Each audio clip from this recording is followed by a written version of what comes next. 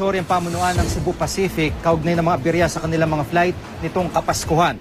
Kundi mabagal ang proseso sa check-in counter, delayed o kanselado ang maraming flight ng naturang airline nung kasagsagan ng Kapaskuhan nga po kung kailan pa uwi ang mga kababayan natin sa kanilang mga probinsya.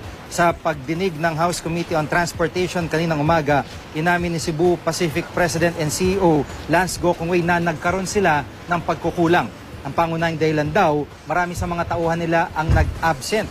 Kaya nagkulang sila sa tao. Dumating pa nga sa puntong kinailangan nilang maglipat ng tao mula sa kanilang international counters. Pasok naman daw sa international standards ang isa hanggang 2% overbooking rate ng Cebu Pacific. Gayunman, batid ng Cebu PAC na kailangan nilang mabawi ang tiwala ng mga pasahero. Kaya naghihigpit na sila sa sistema. Nagdagdag na rin sila ng tatlo o ng mga tao sa mga check-in counter.